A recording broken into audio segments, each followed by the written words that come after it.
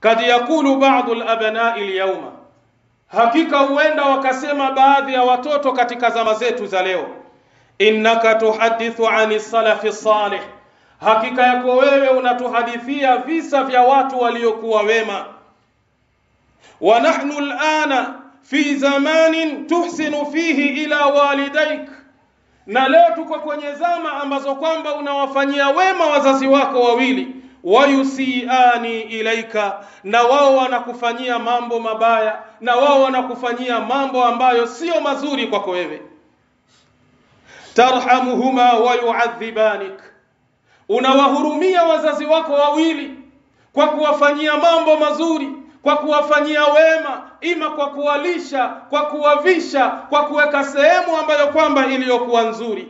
Lakini wazazi wale wanakuadhibu mbali na yale mema unayowafanyia tukallimuhuma bikalamin layinin.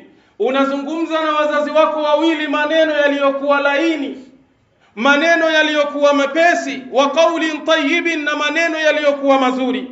Fayaruddani alayka bilkhabithi lakini wazazi wawili wale wanakurudishia majibu ambayo ni machafu mabaya kwako wewe.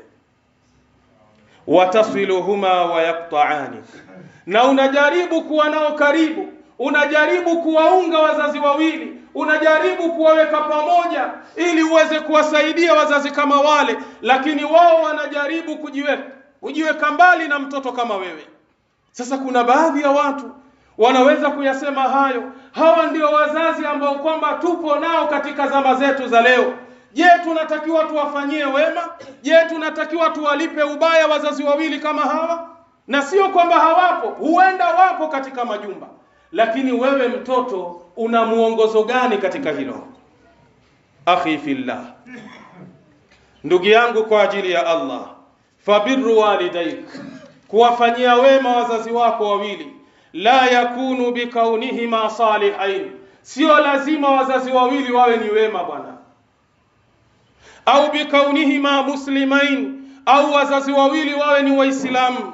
Bal tabarruhuma bali unatakiwa uwafanyie wema wazazi wawili wa inkana kafiraini, hata ikiwa wazazi wawili ni makafiri, hata kama sio wema, ni wabaya, ni wachafu, ni washirikina, lakini ni wazazi wako, unatakiwa uwafanyie wema wazazi wawili, kama jaa fi hadith, ni kama ilivyokuja katika hadithi ya Mtume sallallahu alayhi wasallam.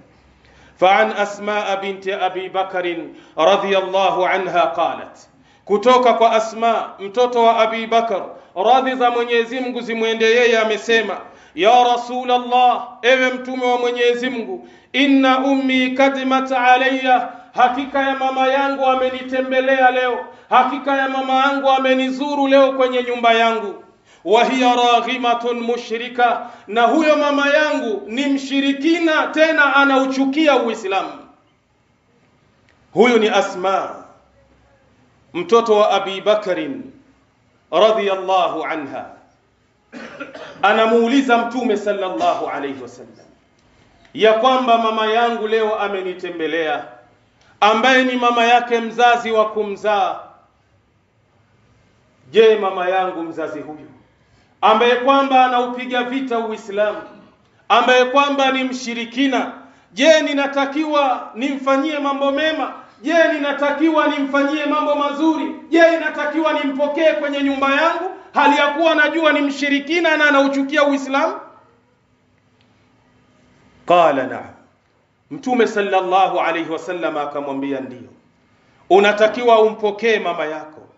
Unatakiwa umfanyie wema mama yako. Fasili ummaki muunge mama yako kuwa pamoja na mama yako msaidie mama yako hata kama yeye ni mshirikina hata kama ni mbaya kwako. Leo katika majumba huenda ikawa chanzo na matatizo ya wazazi wako kutokukupenda ni mke wako.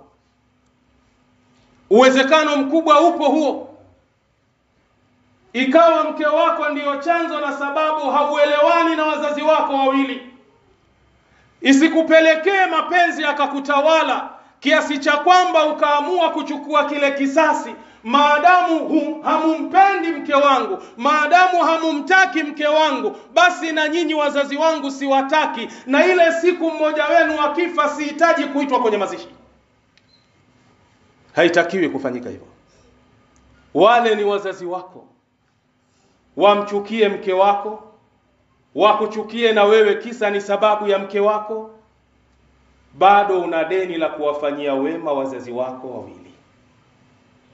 Hadithi niliyoisoma imepokewa na Imamu Muslim kwa nambari elfu tatu na tatu. Bal alaika an tabarrahuma, bali ni juu yako kuwafanyia wema wazazi wawili, watuhsina ilaihima, na kuwafanyia mazuri wazazi wako wawili. Walakin na lakini, lau amaraka bilkufri billah, lau wazazi wawili wakakuamrisha umkufuru Allah subhanahu wa ta'ala au alzamaka bishirki billah, au wakakulazimisha umshirikishe Allah subhanahu wa ta'ala, fala tuti'uhuma fi dhalik, usiwatii katika jambo hilo la kumkosea Allah subhanahu wa ta'ala. Wazazi wako wawili unajaribu kuwafanyia wema, unajaribu kuwafanyia ihsan, unajaribu kuwafanyia mazuri mbalimbali.